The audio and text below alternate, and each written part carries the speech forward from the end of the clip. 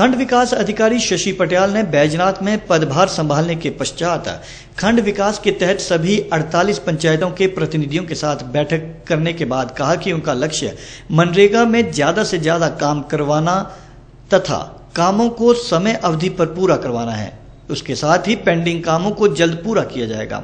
उन्होंने कहा कि बैजनाथ विकास खंड में ब्लॉकों में अधिकतर कार्यों में गति देने के लिए पंचायत प्रतिनिधियों, पंचायत सचिवों को निर्देश जारी किए गए हैं। उन्होंने कहा कि लोगों के कार्य तथा उनकी समस्याओं को देखते हुए सभी पंचायतों के प्रधानों को निर्देश जारी किए गए हैं और कहा कि प्रधान पंचायत घर में रोज़ाना दो घंटे 10 से 12 बजे तक पंचायत घरों में बैठे। अगर पंचायत घर में प्रधान बैठा नहीं पाया जाता है तो उसके खिलाफ नियम अनुसार कार्रवाई की जाएगी।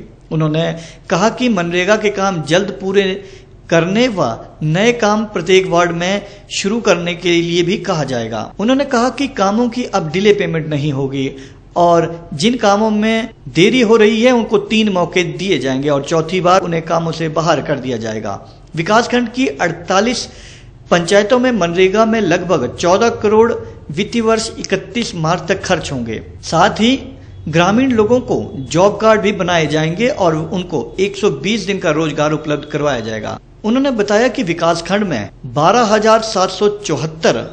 जॉब कार्ड होल्डरों को काम दिया जाएगा।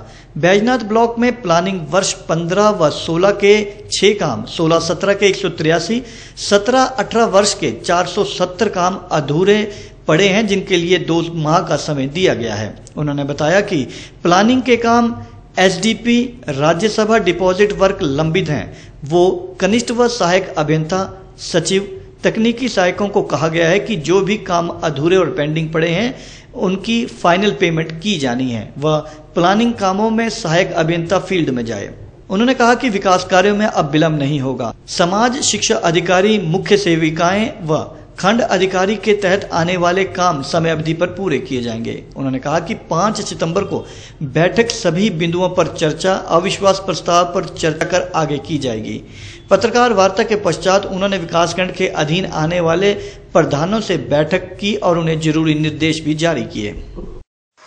हाँ मेरा इस विकासखंड के अंतर्गत जो बीपीएल सर्वे उपायुक्त महोदय के द्वारा निर्देशित किया गया है, करने के लिए कहा गया है। एसडीएम साहिब के अनुसार जो भी परफॉर्मा दिया गया है, उसके बारे में थोड़ा पूर्ण में अपने समाज शिक्षा खंड योजना अधिकारी से बातचीत करके उसको जल्द से जल्द जो है वो कार्रवाई करूँगा और जो भी लोगों को बेनिफिट देना है, वो मैं अपने को मंडलाधिकारी, नागरिक बैजनाथ से भी डिस्कस करूँगा। इसके बारे में चर्चा करूँगा। और इसको जल्दी से जल्दी इस चीज़ को भी मैं डिस्पोज ऑफ़ करूँगा। थैंक यू मैं इस विकास खंड में 16 आठ दो हज़ार अठारह को सुबह ज्वाइन किया।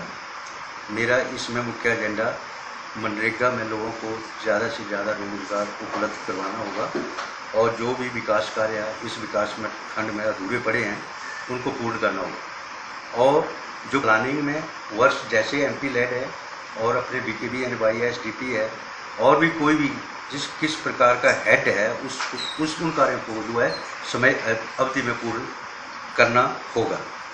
और जो भी इस विकास खंड में किसी भी प्रकार की कोई समस्या है या प्रॉब्लम है उसको मेरे को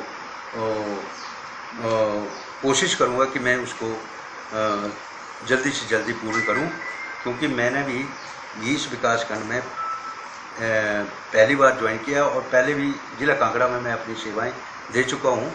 और इसमें मेरा, जो जिला कांगड़ा में मैंने सेवाएँ दी हैं, उसमें मेरा विकास खंड कांगड़ा मैं चार साल मैंने अपनी सेवा दी हैं।